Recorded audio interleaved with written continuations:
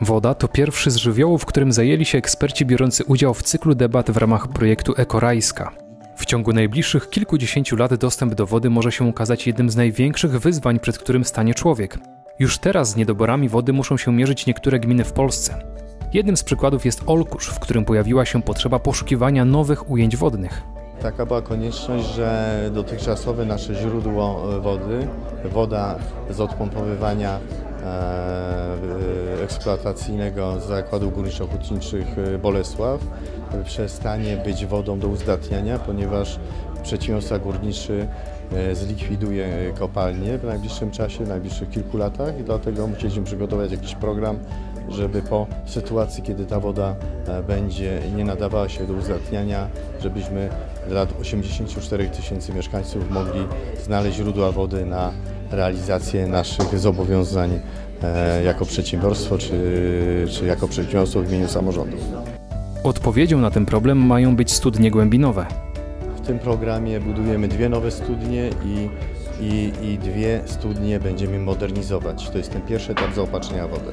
Józef Niewdana od lat zajmuje się promocją dawnych śladów górnictwa i hutnictwa na ziemi olkuskiej oraz walorów przyrodniczych rzeki Biała Przemsza. Szansa polega na tym, że ta rzeka będzie czystą, że ta rzeka znów za gdzieś 20 lat będzie prowadziła takie wody jak 100 lat temu i wtedy będzie przyjazna człowiekowi, to będzie piękna kraina i jest o co walczyć. Natomiast też trzeba tam ludzi przyciągać, bo jeżeli odchodzi górnictwo, to część ludności straci zajęcie, straci dochody.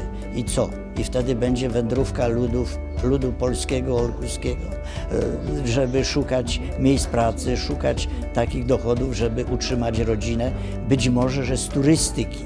Woda to także wielkie zobowiązanie dla człowieka i o zasoby, które posiadamy, trzeba się nieustannie troszczyć. Na tym polu wykonywana jest ogromna praca. Jeszcze niedawno Polska była jednym z największych trucicieli Bałtyku. Dziś sytuacja jest znacznie lepsza. W Polsce zainwestowano olbrzymie środki w rozwój sektora wodociągowo-kanalizacyjnego, a może nawet w rozwój sektora kanalizacyjnego bardziej niż wodociągowego. W związku z tym pobudowano oczyszczalnie ścieków w dużych miastach, mniejszych miastach, miasteczkach. Na chwilę obecną w 2015 roku my musimy spełnić wszystkie wymogi dyrektywy ściekowej. W związku z tym nie możemy truć e, rzek. Wodociągi nie mogą e, zanieczyszczać rzek. W związku z tym przestaliśmy truć e, Wisłę, przestaliśmy truć Odrę i mniejsze dopływy tych rzek.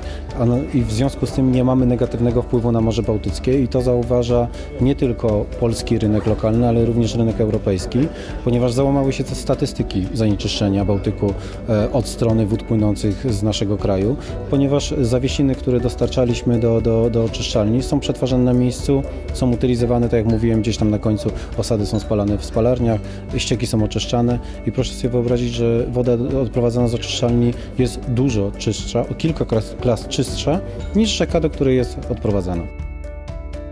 Tematem wody zajmowali się także najmłodsi, którzy w ramach cyklu Ekorajska biorą udział w specjalnych warsztatach organizowanych w oddziale dziecięcym Rajskie Jabłuszko Wojewódzkiej Biblioteki Publicznej w Krakowie.